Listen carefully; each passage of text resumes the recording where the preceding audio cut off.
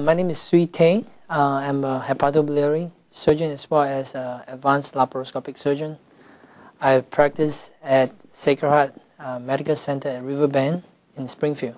We are now able to perform a wide range of liver, pancreas, and bile duct surgery.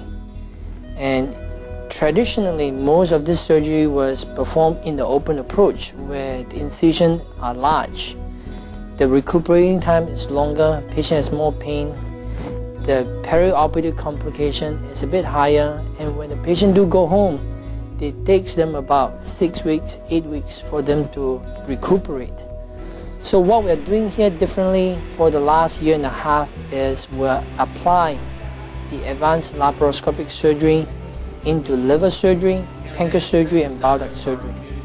And what it means to the patient is for many types of tumor in those organs, we can remove them or treat them using laparoscopic surgery.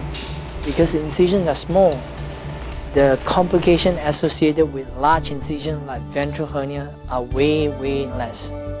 So overall, it benefits patient both short-term and long-term. There's no doubt laparoscopic surgery is driven by technology. With a brand new hospital, with a brand new operating room, we have the world-class technology in the operating room. This hospital uh, is not only a regional referral center. I have traveled around the world. I've seen a lot of hospital systems. What we have here is world-class.